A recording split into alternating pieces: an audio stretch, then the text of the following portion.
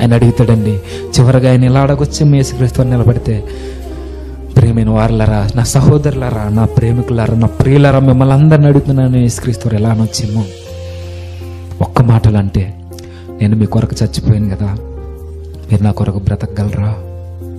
మీ కొరకు నేను రక్తాన్ని దారపోసాను కదా రక్తాన్ని కార్చొద్దు మీరు మీరంత విశ్వాసులు కాదని నాకు తెలుసు. కనీసం రక్తం కారేంతగా పాపంతో పోరాడగలరా? నిన్న నా ప్రశ్నకి సమాధానం మన జీవితంలో ఉండాలంటే ఆయన ఒకటి అడుగుతాడు నేను మీ కొరకు చచ్చిపోయాను మీ కొరకు నేను బలైపోయాను అయిపోయాను మీరు నా కొరకు బ్రతకగలరా? నేను పరలోకాన్ని వదిలేశాను మీ కొరకు నా తండ్రి చేయను వదిలేశాను మీరు నా కొరకు లోకాసులను వదిలేయగలరా? ఇది ఒక్కటి అడుగుతాడండి ఆయన.